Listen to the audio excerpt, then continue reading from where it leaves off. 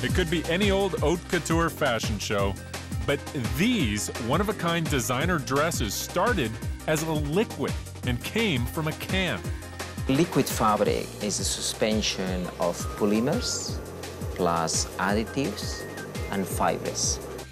It's a new technology called Fabrican, and it's the result of an unexpected 10-year chemistry detour for fashion designer Manel Torres. I call myself as a chemist tailor because it's in fashion women's wear. I'm a doctor in women's wear. Manel's eureka moment came from another famous spray can product. Basically, I was at a friend's wedding and she was all over the spray with the silly string material. And I thought, why could not create using the technology of the spray-on fabric, a mist, and that will be an instant non-woven fabric. And everything started from there.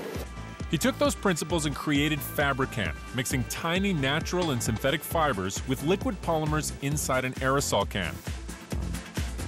It turns into a non-woven fabric and goes on like a second skin. The spray-on fabric, when it gets in contact with the air, it solidifies into this instant non-woven material. It starts as pure chemistry, but in the hands of a designer, transforms into art. What I will do is I will do a bra for you. It feels like um, like a bracing morning air, I would say, but fun. It takes, I suppose, like that sort of tight body. You feel very secure in it, basically and it's quite it's quite it's quite a comfortable feeling rather than I suppose having a bodice where you'd be dying in a corset. It's quite liberating in a way. It can be removed, washed, and reworn, or, if you prefer, just dissolve it and start over. Fashion is only the tip of the liquid fabric iceberg. Change up the recipe and it could be a medical marvel. One of the main characteristics of being able to have a liquid fabric contained in an aerosol is that makes this material totally sterilized so that you have great advantages to be able to be a wound dressing, also an, an instant bandage.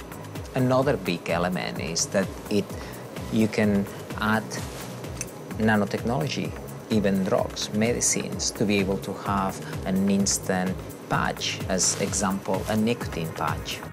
Or how about spraying a new chair into existence?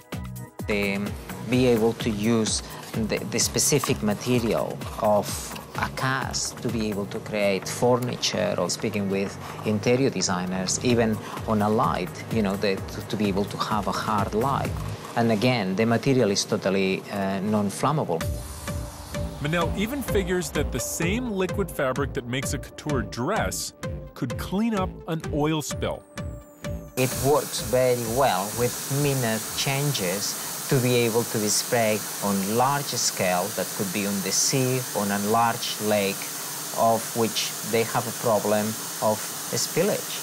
And then basically it will be a good way to control the spillage so that you know you have this fabric that is floating, is absorbing as we can see the oils, and also it will be very easy to clean it off afterwards.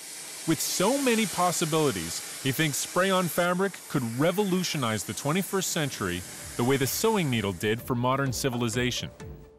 One of the big technologies is the sewing needle, the way that why exists, because we managed to you know, join, you know, the fairs and be able to start to weave and on and on so that, you know, we could keep the clothes you know, to, to preserve us from the coldness. I'm thinking that the aerosol can is a new way to create new instant sterilized fabrics that I don't know, who knows if could be the, the, the new saver of our future generations. That's a pretty tall order, but Manel's immediate plan is to take Fabrican way beyond the catwalk. The dream for me will be to be able to see the, the spray-on fabric used on the medical wall, in the automotive industry, in the fashion industry. It will be so fantastic.